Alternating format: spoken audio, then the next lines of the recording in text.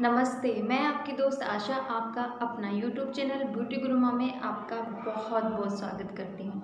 तो आज मैं आपको बताने वाली हूँ कि जो हमारे वाइट बाल हो जाते हैं वाइट बाल आ जाते हैं हमारे बहुत ज़्यादा, उसको नेचुरली तरीके से अपन काले कैसे कर सकते हैं? वाइट बाल को हमेशा वाइट बाल से हमेशा के लिए छुटकारा कैसे पा सकते हैं? वही आज मैं आपको इस वीडियो में बताऊँगी। तो अगर आप मेरे वीडियो पर नए हैं तो सबसे पहले आप मेरे चैनल को सब्सक्राइब कर दीजिए और हाँ बेल आइकन को प्रेस कर देना ताकि मेरी वीडियो की जो नोटिफिकेशन है, वो आपको हमेशा मिलती रहे और लाइक भी कर देना। तो चलिए, अब अपन वीडियो स्टार्ट करते हैं। तो जैसा कि हम सब जानते हैं कि हम बाल काले करने के लिए बहुत ज़्यादा केमिकल अपने बालों में यूज़ करते हैं डाई कर लेते हैं। बाहर के जो केमिकल वाले कलर आते हैं हमारे बालों के लिए, वो भी हम केमिकल यूज़ करते रहते हैं। उसकी वजह से पहले स्टार्टिंग में हमारे एक दो बाल वाइट होते हैं, लेकिन डाई की वजह से धीरे धीरे धीरे धीरे हमारे जो बाल है, वो पूरे ही वाइट होने लग जाते हैं।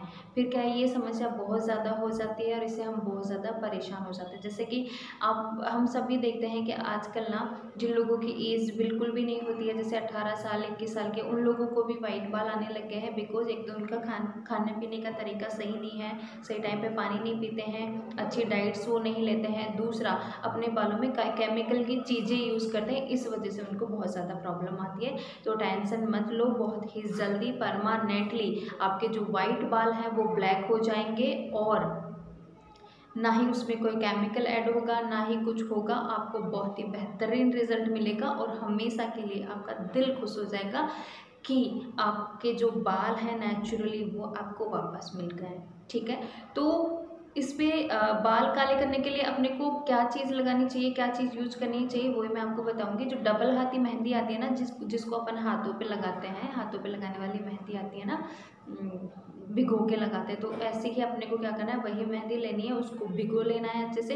लेकिन भिगोने से पहले उसमें क्या चीज़ ऐड करनी है, आपको एक नींबू का रस, पूरा एक नींबू लेना है, उसका पूरा नींबू का रस आपको उसके अंदर डाल लेना है मेहंदी के अंदर और उसको अच्छे से पानी से मिक्स करके भिगो के दो घंटे तक रख देना है। दो घंटे के बाद में आपको पूरे बालों में, जितने आपके बाल हैं, जितने भी लंबे, पूरे अपने बालों में अच्छे से मेहंदी आपको लगा लेनी है। लगाने के बाद में दो से तीन घंटे तक बालों में लगे रहने दें। उसके बाद में आप वॉश कर लें। याद रखना नॉर्मल पानी से ही वॉश करना, उसमें शैम्पू यूज़ नहीं करनी है। उसके बाद वॉश करने के बाद में आपको अपने बालों पे ऑयलिंग करनी है। ठीक है? ये चीज़ें ध्यान में रखना। वॉश नहीं करना है। शैम्पू से आपको नॉर्मल वाटर से ही वॉश करना है।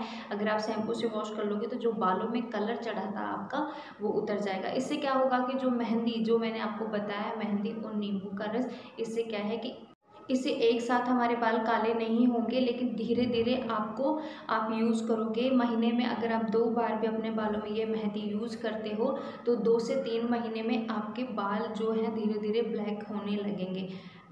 जो वाइट बाल थे अपने, वो ख़त्म हो जाएँगे, वो धीरे धीरे ब्लैक होने लग जाएँगे या फिर जो मेहंदी का कलर है, उसमें ज़्यादा रेड नहीं होता है, वो धीरे धीरे ब्लैक ही कलर लेने लग जाता है। तो ये चीज़ें आप यूज़ करना, महीने में दो बार यूज़ करना, आप देखना नेचुरल तरीके से आपके बाल अच्छे भी हो जाएँगे और जो बाल हमारे टूट ज़्यादा टूटते हैं, झड़ते हैं, वो भी बंद हो जाएँगे और वापस से आपके ब्लैक बाल आ जाएँगे। तो ये चीज़ें आप ज़रूर याद से ही करना और हाँ अगर आपको मेरी वीडियो अच्छी लगी है तो लाइक कर दो, शेयर कर दो एंड सब्सक्राइब प्लीज़ प्लीज़ कर देना, ठीक है? और हाँ लाइक भी कर देना और बेल आइकन को प्रेस कर देना ताकि मेरी वीडियो की नोटिफिकेशन आपको हमेशा मिलती रहे, okay?